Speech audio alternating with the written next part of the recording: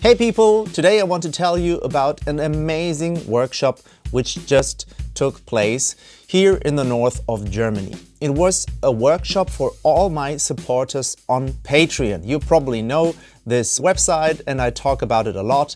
Everybody who supports me on Patreon with a small donation every month helps a lot that this channel can stay alive, that I can make weekly videos for you. I want to make more and better videos for you, maybe invest in better software, better hardware, better location, and so on. So everybody who supports me on Patreon helps that I can make more and better videos for you. And everyone who supports me on Patreon is invited to an exclusive workshop once a year. Last year we talked about musicality and creativity. And this year the whole workshop, a whole day was about improvisation. If you can actually learn and practice to improvise, and if so, how? And it was an amazing experience. We had a beautiful location here in the north of Germany where probably a workshop will be held again next year. We had people from all over Germany and only Germany this time, so the lessons were held in German. But usually I'm prepared to do this in English because many of you are not from Germany, of course. And yeah, we made a lot of music together, we learned a lot together, we discussed a lot, and uh, we began by just finding the definition of improvisation because there are a lot of misconceptions about this. And as usual, if you actually know the problem, if you understand the question better, the answer is much easier to find.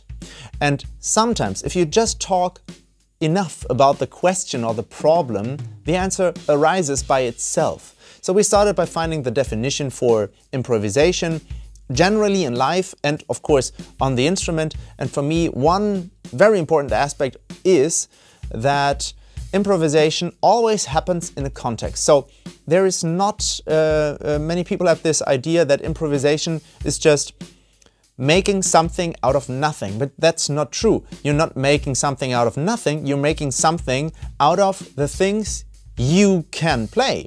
So you have a certain amount of skills, a certain amount of things in your, in your bag of tricks, and you need creativity, the skill of creativity, to put them together to make music, to make something beautiful. And also, you need to take those things out of your skills that are suitable to this certain situation. So you don't actually need some kind of gift of creativity, you just need the skill of observing in what context you are, listening what the music needs from you, and then taking from the skills you already have that one that is suitable here and helps the music. And we talked a lot about how to do exactly that and we tried a lot and it was so amazing that many people were so courageous and um, wanted to demonstrate or try something. Some people even uh, talked to me in the breaks and asked me if they could just try something on stage, just try to play a solo and let everyone comment on that. And that just showed me that there was such an amazing atmosphere of trust because, of course, when you improvise, when you play freely, uh, especially as a beginner with not so much experience, this is very frightening. So everybody was extremely respectful of others because everybody knows this feeling of being thrown into a situation not knowing what to do and having to improvise.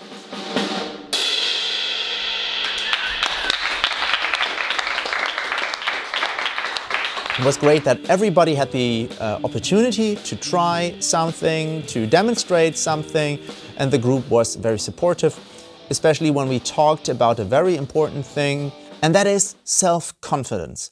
Because you can only be in touch with uh, your own musicality and all the things you can play and play them in the right way if you don't block your access to this. Because anxiety, um, uh, with anxiety, you, you have tunnel vision.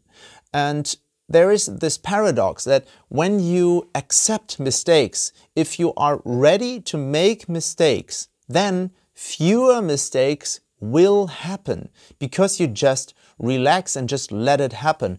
And it was amazing to see many beginners just playing freely, just as I say, being part of the of the active and lively flow of music. Not from the outside looking in, but really being inside the music and from inside, growing from the inside out and not trying to make your way in just by practicing, practicing, practicing. You need to play music, you need to be courageous and just start. And of course, there are different levels. Not everybody is equal. Some people are a little bit more anxious, and that's totally fine. Me too. And uh, for me, it worked just jumping into the cold water on jam sessions, but for many people, they just don't want that. So we had different levels of exercises, how to get to that point. Because, of course, improvisation can happen in different contexts. You can improvise two play-alongs, which is a great practice.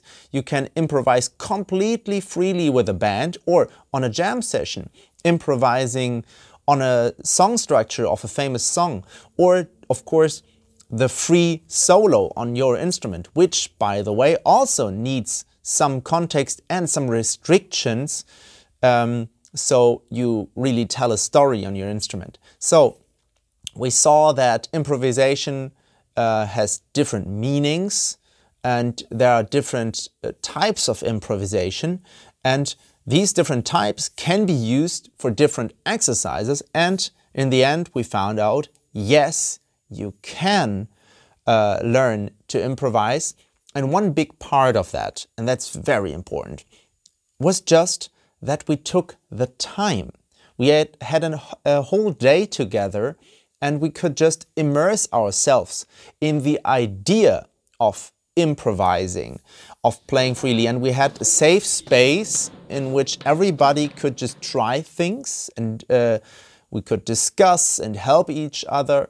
And I think it's very important and um, to really immerse yourself in a subject. This is why I like longer workshops or even drum camps over a few days, because you don't just get uh, some information and then you go home and try to practice with that. You get to the point where you can really feel what you are talking about. You have an, a lot opportunities to try it because we played in the group together several times, then reflected on that, then somebody else was trying something on stage, then again something in the group, and in the intermissions we discussed the, um, the experiences and so on.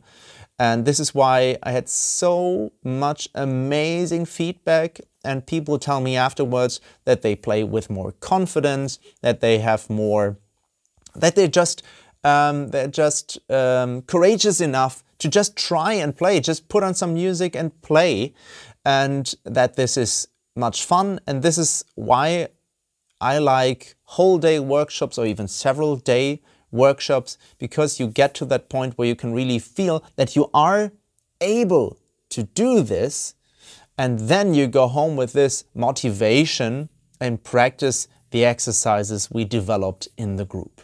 As always, if you want me to give a workshop in your area, please talk to a music school you know or a music shop or any other person who would like to organize such an event and then book me and I will be happy to give workshops every week, everywhere. And if you want to join us at next year's Patreon workshop, then you should register right now. The link is in the description because everyone from level silver and upwards is automatically invited to next year's Patreon workshop.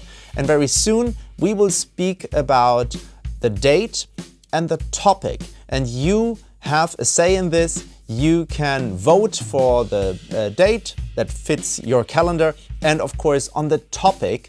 And as I said, probably the workshop will be held in Northern Germany next summer again. And I try to uh, let it be an, a whole day workshop again. The location also has apartments, so um, there's no problem in staying there for the night if you have a longer, a longer journey here and back home. And yeah, I just hope to see you there. Once again, thank you very, very much to everyone who already supports me on Patreon, but not only the Patreon supporters. If you subscribe to this channel, if you like the videos, if you comment the videos, you help a lot because this engagement with the videos helps that the YouTube algorithm shows it to more people. So thank you very much for everyone who supports me here or on Patreon. Hope to see you in the next video next Thursday. Until then, take care and bye bye.